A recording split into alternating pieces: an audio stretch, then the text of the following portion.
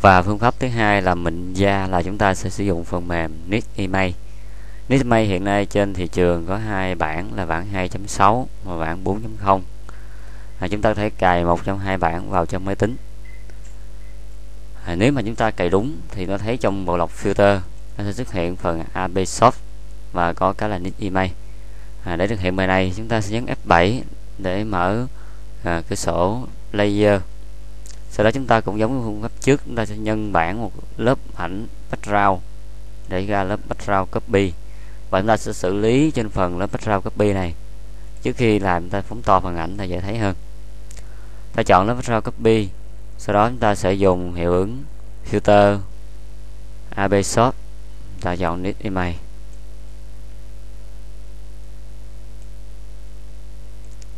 trong cái sổ Need Image chúng ta sẽ chọn vào phần noise filter. Trên phần noise filter các bạn sẽ à, đánh dấu vào một vùng ảnh vùng ảnh nào đó trên vùng mà bất kỳ. Vùng ảnh này nó, nó có tác dụng rằng bên trong cái phần bên trong cái phần à, ovu này có nghĩa là đó là phần ảnh mà nó sẽ review cho chúng ta thấy bên ngoài là ảnh gốc. À, và ta xử lý là xử lý trên toàn ảnh cho nên chỉ review trên đây các bạn không có sợ là à, nó không xử lý hết mà nó những xử lý toàn bộ cái ảnh à, bước thứ hai là chúng ta sẽ à, cân chỉnh những thông số trên đây.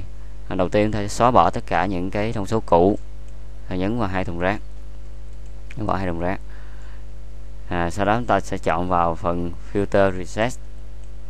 Chúng ta sẽ chọn vào à, trong cái à, à phần mềm list image chúng ta sẽ chọn vào phần reset và nó chọn phần default. Mình thấy phần ảnh nó được mịn hơn rất là rất là nhiều. Bây giờ chúng ta sẽ chỉnh thông số cần thiết sau đây. Thứ nhất là cái độ mịn. Là mịn ta chỉnh trên, trên phần là noise level. Chúng ta tăng về phía phía bên phải dấu cộng lên thì độ mịn nó càng nâng lên. Chúng ta có thể cân ba cần đó là mid loud. À, thì ta thấy những cái hiệu ứng nó sẽ được à, thực hiện trên à, phần review này. Ngoài ra chúng ta thấy có những cái kênh màu chẳng hạn như i cr crb đó là chúng ta chỉnh theo từng cái phần ví dụ như theo kênh xanh theo kênh hồng theo màu trắng. Ví dụ là chỉnh màu trắng các bạn thấy đây. Đó thì cái cái những dây, dây sắt nó sẽ bị mờ đi. Chúng ta tăng như thế này sẽ rõ hơn. Đó chúng ta thấy nó rõ hơn. Nếu là chỉnh phần à, phần hồng cái là da mặt nó có phần hồng đấy thì cái độ hồng nó sẽ được giảm xuống để chỉnh như thế này. Còn đây sẽ được tăng cường cái độ hồng hồng phấn đó. chúng ta nhìn thấy rõ nó sẽ hồng hơn rất là nhiều. Cho nên phần mềm Little May này được đánh giá là một trong phần mềm cao cấp. Và bên thị trường bên ngoài à, một số nơi người ta có thể rao bán là đến 2 triệu hoặc 3 triệu đồng. À, chẳng qua là họ chỉ à, cài đặt những thông số nghe họ chỉnh cho nó đạt xong họ sale lại. Ví dụ như trong trường hợp này chúng ta à, cài chúng ta đã chỉnh xong một số thông số cho nó đạt nhà cân mấy cần như thế này nè. Ta thấy phần da nó rất là đẹp rồi nè. Chúng ta chọn vào trong phần là sell current filter. Chúng ta sẽ đặt nó thành một cái tên nào đó. Ví dụ như tôi đặt tên hiếu. Rồi để nhấn sell à, thì ờ, khi ờ, đó những cái hình ảnh về sau này các bạn không cần phải chỉnh nữa. Các bạn cần chọn là load load filter bạn chọn này thì nó sẽ giữ tất cả thông số cũ. Và bên ngoài họ bán cái phần mềm này cũng cũng như vậy và thôi. Nghĩa là họ chỉnh khoảng cỡ 20 đến 30 cách chỉnh khác nhau và họ sell từng tên và họ bán lại. Chứ thật ra phần mềm này là phần mềm của nước ngoài à, sau khi đồng ý kết quả này chúng ta sẽ nhấn là apply.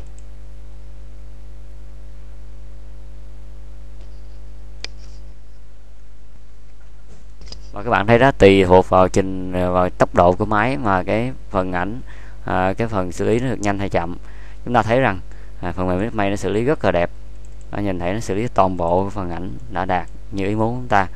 Đây là tính năng làm mịn da. Ta tắt thử này nha. Ta thấy đây nó rất là xấu.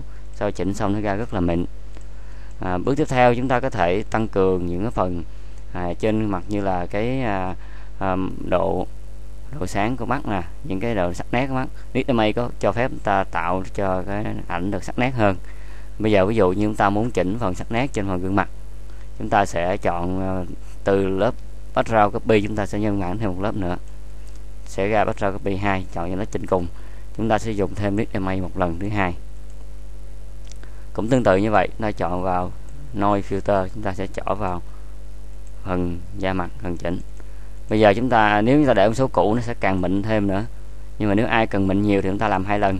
Còn không ta chỉ làm một lần và chúng ta sẽ bỏ phần bỏ tất cả cái phần là à, trong cái cái thông số cũ bằng cách nhấp vào hai thùng cát. À, sau đó các bạn sẽ chọn vào à, phần load load uh, à, filter. Chúng ta sẽ chọn vào stopping stopping ta chọn là stopping image đây là tính năng cho phép ta làm cho sắc nét ta thấy nè. Nếu ta không chỉnh nhấp vào giữ luôn ta thấy là nó mờ buông ra nó sẽ rõ nét hơn. Và để cân chỉnh phần rõ nét sắc nét chúng ta sẽ chỉnh vào những thông số như là à, ở mau bên dưới này. Dùng nó chỉnh đây nó sẽ sắc nét hơn. À, ba thông số bên dưới này nó sẽ sắc nét hơn.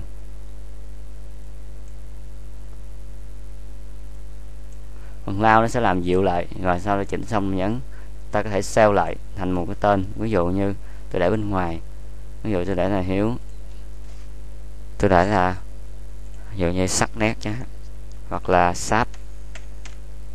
Sáp nghĩa là bén. Sao lại, và tôi nhấn apply.